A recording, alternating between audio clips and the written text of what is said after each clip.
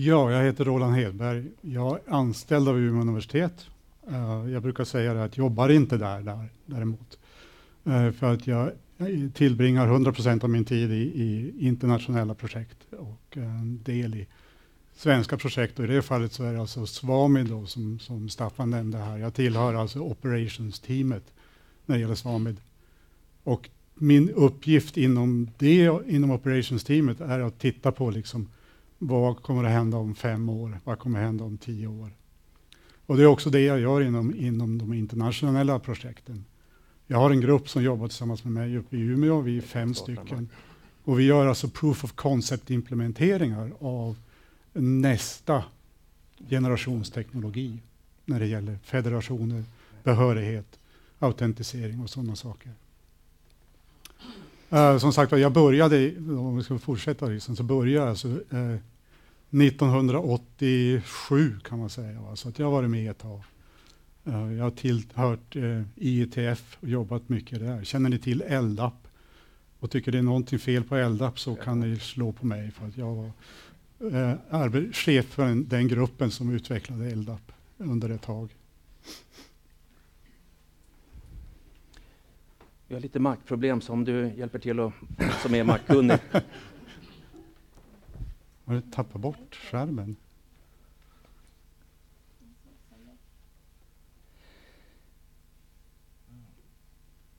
Just det. Okej. Okay. Och Sunet, hur många är ni som jobbar där idag med Svamid? I, i, i Svamid, eh, operationsteamet, vi är tio personer och uh, ungefär. Det kommer att gå lite grann. Och eh, det är så att eh, alla de personerna jobbar på ett universitet eller lärosäte. Och det är med av design så att säga. Så att det finns, man har liksom ingen heltid som bara jobbar med det här, utan man vill ha liksom foten kvar i verksamheten, va? så man vet liksom vad som händer, vad som är problem där ute. Så att det inte vi sitter och löser tekniska problem som inte har någonting att göra med verksamheten, vilket är väldigt viktigt. Då. Så vi får feedback då på vad som händer. Och om man tar lite volymer, Svamid, hur det är 30-40 lärosäten, det är hur många tjänster det kommer? Vi får kanske? se, det kommer liksom sen. Ja, det är bra. Uh, tadam. Ah. Jaha, okej. Okay. Trolleri.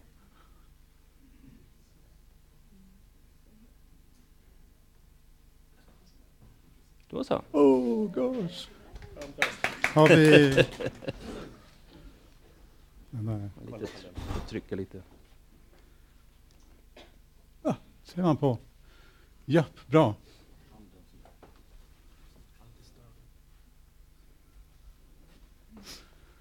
Svamid alltså då, som är alltså, ja, det bildades 2007 som Staffan har nämnt. Eh, och det var egentligen då man eh, anammade SAML. Före det hade vi någonting helt annat. Vi hade hittat på ett eget protokoll, ett eget sätt att hantera det där inom ett samarbete som kallas för SVAMI, utan det alltså på slutet.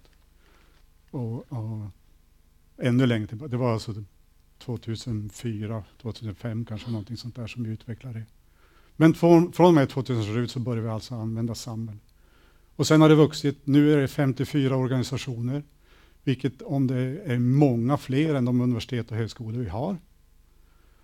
Uh, egentligen står det i statuterna för Svamid att vi får sådana som kan ansluta sig till Sunet. Och det finns väldigt bestämda regler för vilka de är. De får vara medlemmar i Svamid. Men på senaste år har vi börjat tulla på det där lite grann. Uh, så vi har plockat in uh, organisationer som Vinnova till exempel och så vidare. Därför att det, organisationer som universiteten har så stort behov, så här, nytta av finns i Svamid, börjar vi plocka, plocka in. Så det är mycket möjligt att vi kommer bli fler än 54. Eh, den sista punkten där, AL1, det är alltså något som kallas assurance level. Det är alltså hur mycket man kan lita på varandra. Och det är lite grann ungefär som när man tittar på internet startade. Internet startade med att alla litar på varandra och därför hade man just ingen säkerhet i internet. Va? Sen så småningom växer det och små så inser man då liksom att folk skickar virus, de skickar maskar, de skickar såna här phishing-attacker, de skickar massa grejer som gör att man helt plötsligt inte kan lita på internet. Vem kan man då lita på? Och det är någonting som vi har jobbat mycket, ganska mycket med de sista åren inom Svamid, att försöka sätta upp ett ramverk för hur vi ska kunna uttrycka det här, hur man ska kunna kolla liksom att folk verkligen gör det de ser att de ska göra. Och det är alltifrån liksom hur er server, vem, som, vem kan logga in på den? Står den liksom i ett skyddat utrymme liksom och så vidare? Till sådana här processer. Hur gör ni när ni identifierar personer som ni har i er katalog? Går ni och ber dem att visa liksom, legitimation? Eller skickar ni ett e-mail till någon e-mailadress ni har fått? Eller skickar ni ett sms till en telefon eller någonting sånt där? Sånt vill du gärna veta då. Och då har vi något som kallas AL1 då, som är första nivån. Och det, det är inte speciellt högt. Uh, och det är fortfarande liksom att man säger att man har gjort rätt själv. Det finns alltså ingen som kollar att man gjort rätt själv. Men vi kommer att högre, höja det här, så så småningom så kommer vi alltså ha revisorer som går omkring och kollar att vi gör rätt. Det kommer finnas liksom en process där för att göra det här väldigt ordentligt. Och det är viktigt. Ja, ah, det gick snabbt helt plötsligt. Men alltså Svamid har vi då. Och sen börjar Edugain dyka upp. Och då är det så att det finns ett, ett projekt, ett väldigt stort projekt, EU-projekt som kallas för Jean. Uh, en för, förkortning av något franskt uttryck som jag inte kommer ihåg just nu. Men Jean-projektet har pågått under många, många år. Det är mycket pengar. Inom det projektet så utvecklar man det som kallas för Edugain, som är då en federation av federationer. Så här har vi då liksom, vi har de olika länderna i det här fallet. Vi har liksom Sverige, vi har Norge, vi har Danmark och så vidare. Och så inser vi ju då förstås att när det gäller universitet så har vi ju då de här som publicerar tidskrifter. De vill alla komma åt. Ja. så varför ska vi be, be dem att stoppa in dem i alla federationer? Varför kan vi liksom inte ha ett ställe där vi kan stoppa in dem? Elsevier till exempel. Och så funkar det för alla. Därifrån kom liksom behovet av Edgain, där dök det upp. Så det har man hållit på med då. och egentligen gick det väl i drift kan man riktigt säga 2011 ungefär. Så det är ganska nytt.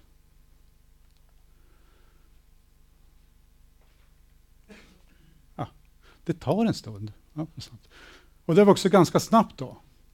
Om vi tittar på federationen då så har det just nu så är det 33 medlemmar och jag har inte skrivit land, länder där, så att säga, utan det här är 33 federationer. För det finns vissa länder där man inte kan komma överens utan det finns fler än en federation i det landet.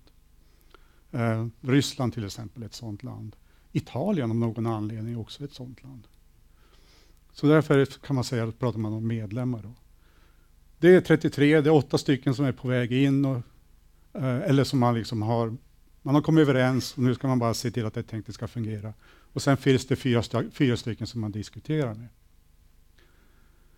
Eh, entiteter, det är alltså såna här identitetsleverantörer, eh, alltså det som kallas för IDPR. Det är de som man går till när man ska logga in.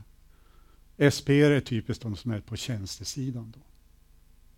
Och ni ser i storleksordningen tusen ungefär av varje nu med de medlemmar vi har. Totalt om man tittar på samhällsvärlden, allt som vi känner till, som man har hört talas om och så vidare, så finns det 56 federationer. Om man, tittar, om man summerar ihop det där nu snabbt på vänstersidan där, eller på högersidan för vänstersidan för er, uh, så är det 41 stycken. Så det är 80 procent ungefär av de, vi, de som finns, de har vi inom, inom Edugain. Däremot så finns det förstås väldigt många fler IDP och SPR, för en del av de här är lokala. Om man tittar på en del stora universitet i USA till exempel, så kör de SAML inom universitetet. De har kommit fram till att de vill inte ha någon annan teknologi, de vill bara ha det. Jag vet till exempel att MIT har väl någonstans i storleksordningen 150 SPR som är lokala för MIT. Och de finns med här i de 6500, men de kommer aldrig att publiceras utanför MIT. Så därför är det alldeles, alltid en diskrep diskrepans här mellan liksom hur många SP det finns och hur många som kommer finnas i Edgame. Och det växer från, från dag till dag det här förstås.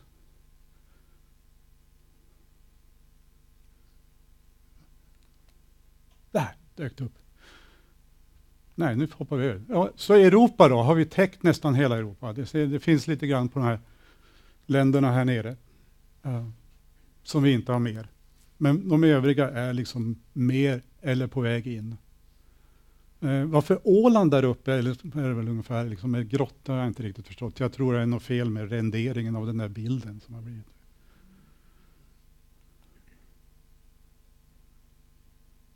Finns det något tecken på att det händer något? Jag får rikta mot datorn. Ah, då hoppar den två istället. Ja, ursäk, ni får ursäkta mig, det är tid på morgonen. Tittar man på världen då, så förstås Europa är väldigt grönt. Nordamerika har vi då förstås, eh, Kanada och USA. USA gick bara med för ett år sedan. De hade jätteproblem med att lita på alla andra, så att säga. Det, uh, det finns ett klassiskt amerikanskt uttryck, not invented here. Och Edugain kommer ju inte från USA, så det kan inte riktigt vara bra.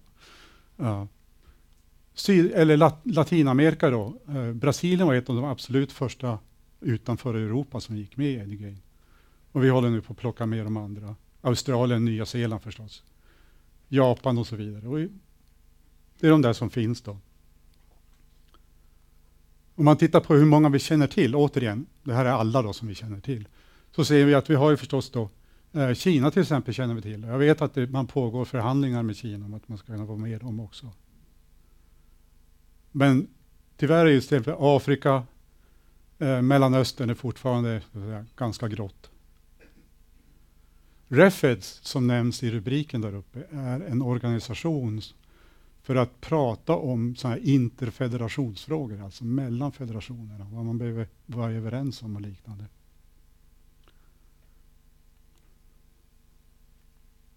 Och sen Edurom har ni hört talas om kanske. Det är den här möjligheten att ta sin dator och åka till ett universitet i något annat land, slå upp datorn, logga in och ha nätaccess. Automatik. Kostar ingenting. Det finns överallt. Uh, och det här är spridningen av Edurom i världen. Då. Och det finns ju förstås, om man, om man uh, tittar liksom på var det finns samhäll, eller federationer och var det finns Edurom, så är det väldigt lika. Och det är inte så konstigt. Det är mest frågan om kan man organisera sig? Så gör man det här. Har man svårt att organisera sig, eller andra orsaker, då, så har man inte satt igång än.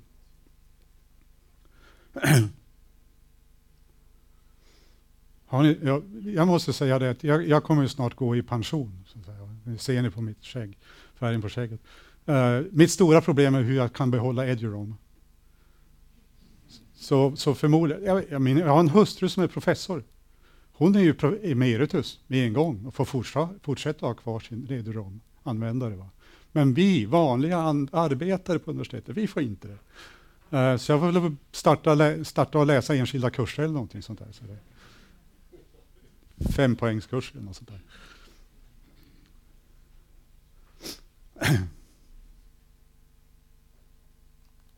ah, där. Men vad diskuterar vi då när det gäller uh, det här just nu? Är det, Okej. Okay. Uh, jo, en är attributrelease. Därför om ni tänker sig att det finns tusen stycken IDP, det finns tusen stycken SPR, storleksordningen. Man kan inte sitta manuellt och göra liksom, vad ska jag skicka till den där tjänsten? Vad ska jag skicka till den där tjänsten? Tänk er, tusen stycken ska ni gå igenom och bedöma. Liksom, vad kan de här vilja ha? Vad ska de få? För det är alltid säkert, det är en sak är säkert, alla tjänster vill ha så mycket data som möjligt. Även om de inte behöver det, så vill de gärna ha det. Ja, tänk bara på Spotify som vill kunna titta på era, era bilder. Varför ska de göra det? Det är en musiktjänst. Ja, de tror sig kunna veta då vem som är era vänner därigenom och därmed liksom koppla ihop er i Spotify. Men det är ett jätteproblem.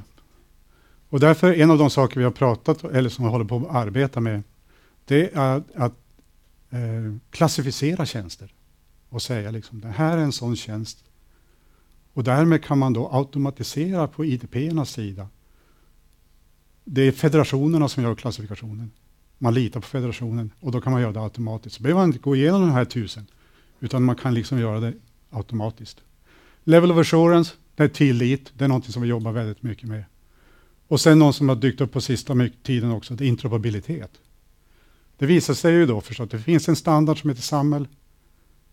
Uh, jag vet inte om er, någon av er har läst samhällsstandarden. Jag läste den ungefär tre gånger, jag förstod ingenting. Tills jag, och då beslöt jag mig för att jag måste implementera det här. Jag måste skriva det här i kod för att förstå det. Och det är ganska säkert. Liksom. Alla som gör implementerar samhäll gör det lite olika. Och därför fungerar det ibland och fungerar ibland inte. Så det är en sak som vi jobbar ganska mycket med just nu. Ta fram verktyg för att göra sånt här. Förbättra interoperabilitet. Ska vi sluta där? Tusen tack. Det är som så att eh, Roland kommer tillbaka senare då och pratar om apphantering också, som är ett, något du brinner för. Så att det, vi måste en liten applåd.